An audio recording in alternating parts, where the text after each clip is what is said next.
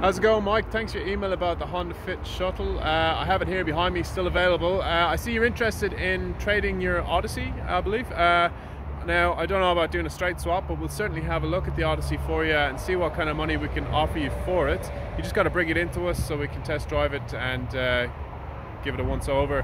Um, we'll get you the best money we can, and then it's up to you, obviously, if you want to go ahead with the deal. Uh, but obviously, you can test drive this one as well while you're here. So um, give me a call. My number's in the email. I'd love to get you in today and have a look. Talk to you later.